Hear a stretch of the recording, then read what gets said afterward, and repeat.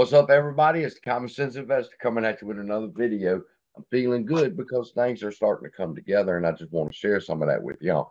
With the price what it is right now, a lot of y'all feel discouraged. You shouldn't.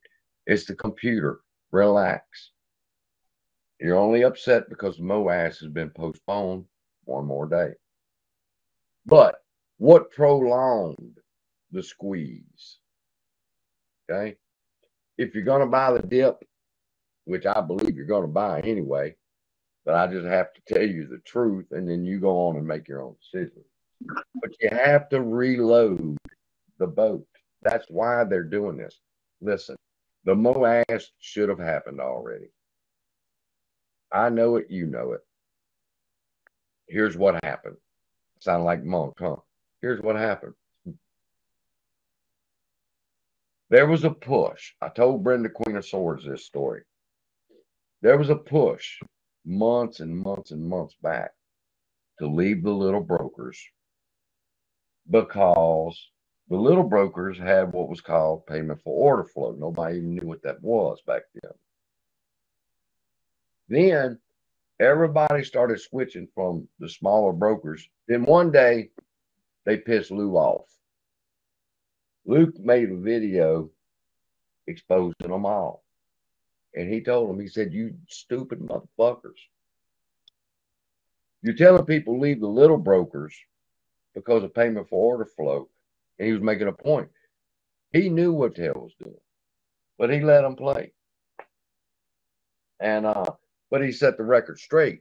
Nobody ever made a retraction video that said Lou was right. They just went on as if nothing happened they done referred everybody to fucking Fidelity, done loaned out all their shares. And I'm sitting over here, I'm laughing. Because I'm thinking, that means on the hook for them fucking shares when the time comes. That means Fidelity to take a fucking hit. Why? Everybody went to Fidelity. They wasn't telling them go anywhere else. They were telling them go to Fidelity. So Fidelity picked up a lot of fucking people. And what they do with the shares? They loaned them out. Nobody made a retraction video. The only thing that was ever said concerning that issue was from that point on, they tell you switch to Fintel and then go to the back office and change your settings. They never said they were sorry that they sent everybody over there wrong. But here's the thing they were getting the little brokers. Well, let, let me say this first with every share, it's like a pressure cooker. Okay. You have the little brokers, brokers, market makers, everybody is in this, and it's a pressure cooker, and it's about to fucking explode on them all. We know this. It's going to explode unless we release some pressure. Okay. Just like on the pot, got to release some pressure or it's going to explode. How do we release pressure? We get everybody out of the fucking little brokers. Because if we don't, right now, ain't no telling what price they're going to have to pay for AMC. So, word went out. Transfer from the little brokers now while it's cheap. You fuck where you go. Just go to a big bank that's got money. Transfer from the little brokers now while it's cheap. oh, I heard. And I'm screaming, no, don't leave. You're taking the pressure off the little brokers. And at that point, the little brokers was Apex Clearinghouse was at a hundred percent capacity on AMC shares. It was about to fucking blow. But everybody left Webull. Everybody Robinhood everybody left the other places that use X. They transferred to bigger brokers, took the pressure off the little broker. Now, had the squeeze happen that day and the price move up from $14, I remember the price back then, $14 to $100 the next day, how much would Webull have had to pay you for your shares? $100 a share. If it moved up to 200, Webull's responsible to pay you $200 a share unless you transfer. If you transfer now while it's cheap, Webull gets off at $14 a share. Why? Because they went out, they bought the share, they transferred the share. Fidelity loaned that fucking share out. Good God Almighty, what a fucking wreck we've been in, huh? You transfer from a little broker because of PO payment for order flow to go to Fidelity, who loans your short uh, shares out so they could short it against us. We've been in a losing battle ever since. And then we got to fight the smartest fucking algorithm that's ever been created on top of all the fuckery. When everybody moved from the little brokers, it took the pressure off the little brokers. Now, the computer's dropping this fucking price right now to load the boat, to put the pressure back on the, the little brokers. Robinhood, Webull, that's who's going to buy him. Those kind of people, I'm one of them, who would buy AMC at $20 a share, $15 a share. They're loading the boat back up. They're building the pressure back up. That's what it's doing right now. That computer is building pressure back up. It was released. It wasn't supposed to be released. It was supposed to blow. But circumstances happened. Pressure was released. Prices dropping. People will buy to load the boat and it will blow. Now, will it blow anyway? Sure. It's going to blow because of what all the banks are doing. But the little brokers are out of it right now and they are the target. And Fidelity, Morgan Stanley, they're not the fucking target. Robinhood's the target. Webull's the target. Why?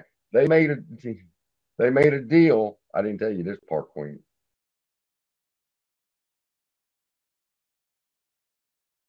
Citadel thinks they're a fucking alpha dog, huh? Wolfpack, y'all ought to understand that. Citadel thinks they're alpha, so BlackRock's going to show them. And they let them dig deeper and deeper, deeper in the hole. Now they got out the hole with the pressure release.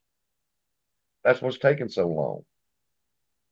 They have to build the pressure back up because they could do it now. They could pull the trigger right now. But Morgan Stanley and Fidelity and Capital One and all the rest of them, guarantee, they would all suffer. And they're not the target. Targets Robinhood and Webull and the rest of them. BlackRock is trying to break them not the big ones. Them. That's who it's that's what it's all about, people. Ricardo Garcia is saying, Do you think we can really beat the algos? Yeah. We're not we're we're not fighting the algos. It's the No. two algos fighting each other. That's right. Now, when I say don't buy, you're gonna fuck the algorithm up if you don't buy. The algorithm's gonna move up regardless. Of rather us buying or not. You will have no pressure. What I'm telling you is the computer wants you to buy. So you have to take a stand and say, I'm not going to do it when that motherfucker tells me to do it. Don't you hate when somebody tells you to do something over and over? Hello? this computer has fucking dictated my emotions for a year. No, I take my emotions back. But it wouldn't matter. BlackRock's algorithm is in battle with Citadel's algorithm. Who's going to be the win? Black and Ex- sure. Huh? This is what this is what people aren't understanding. They think they think it's our war. It isn't our war. We can't do anything to change this war. Buy, sell, nothing's going to change the line. So we buy when at the time winning. So you buy then and keep pushing it up. Somebody, somebody understands what I've been talking about all this time. that, I mean, that sums it up. Listen, we call this a roller ride. Okay, you got to get on a roller coaster. You got on it. and the ride has started. And it's an emotional roller coaster. It is taken. If if you just got in this stock, please do us all a favor, shut the fuck up. Because we've been suffering with this bitch for a year. Yeah, we're, we're not even in the fight, people. They're just listen. You say, well, why is BlackRock wanting to load the boat then? If us buying does not move the line, why would BlackRock want us to load the boat at a low price? It's a robbery. And BlackRock's going to make sure there's no fucking money left. So the more people that get in, the more money can be made, the more they're going to strip from them till they have absolutely nothing left. They won't make it out. They're the ones going to die. BlackRock is loaning them the shares to short. However, they're long, you know. So you keep letting them short it, short it, short it, short it, short it. Then you recall the motherfuckers. It's a perfect plan. I don't know how these dumbasses are falling for it, really.